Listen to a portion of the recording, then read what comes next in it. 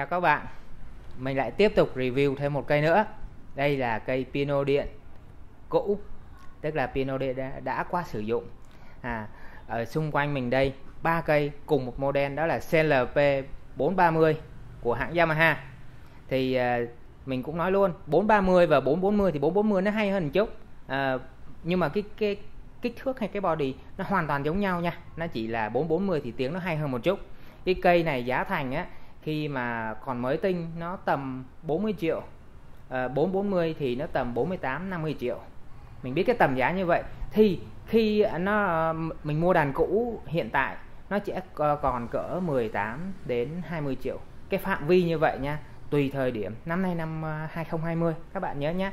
Nhiều khi 3 năm sau các bạn coi lại clip này thì giá có thể thay đổi rồi có thể đao xuống rồi. Các bạn quan sát ha. Bây giờ mình có Ờ, ba uh, màu. Đây mình quay cho các bạn thấy cả ba ba cây ba màu khác nhau luôn. Cây ngoài này là cây màu R ha. Màu R là rosewood là gỗ hồng đào đó. Đó mọi người cứ muốn đậm đen mọi người cứ thích cây màu đen màu đen thì là nó đó. Nó không hoàn toàn đen đâu nó là màu hơi nâu nâu một chút vân gỗ. Nhưng mà mình cứ xem nó là màu đen đi đó, mình cứ xem nó là màu đen. Rồi kế bên là cái cây này gọi tên màu cherry. Thì cherry này là LC là light cherry tức là màu cherry sáng không phải là màu cherry um, đây đây đây đây này mình cho mình các bạn coi. Đây là màu cherry màu C bình thường màu C. Đó còn cái kia là LC ha bạn ha. Ừ. có người thích màu này người thích màu khác mình thì mình lại thích màu sáng nhé đây là một màu cũng rất đặc biệt. Gọi là màu mahogany. Đó. Những cây guitar hay là trống hay là gì đó làm bằng gỗ mà tên mahogany một cái là thường giá nó sẽ cao hơn bình thường. Đó. Các bạn xem. Đây là cây PM tức là màu mahogany nhưng mà bóng. Cứ chữ P đằng trước là màu bóng. Thấy chưa? Rồi, bây giờ mình lướt qua cái cây này ha. Lướt qua cái cây này ha. Đó, nó có hai cái chân ở đằng trước đẹp không? Xinh trai ha.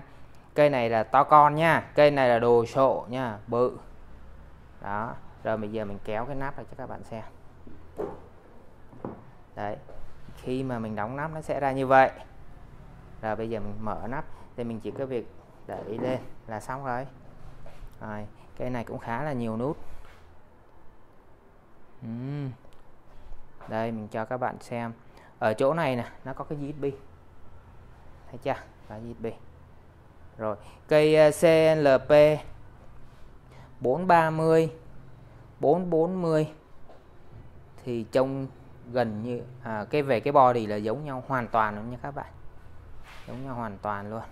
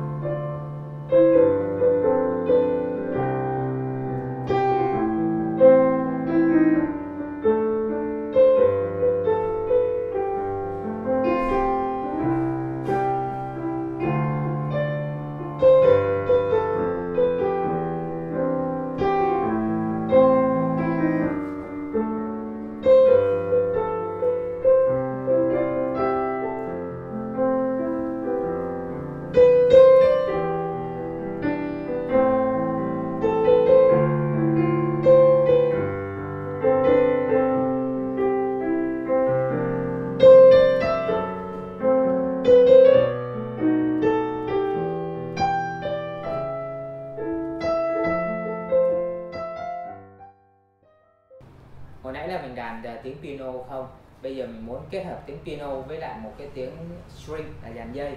Thì mình chỉ việc bấm cái phím piano và cái nút string là hai cái tiếng nó gộp lại. Đây, các bạn thử nhé. Đó. các bạn nghe cái đuôi của nó là tiếng string, đúng không? Đây là tiếng string đây.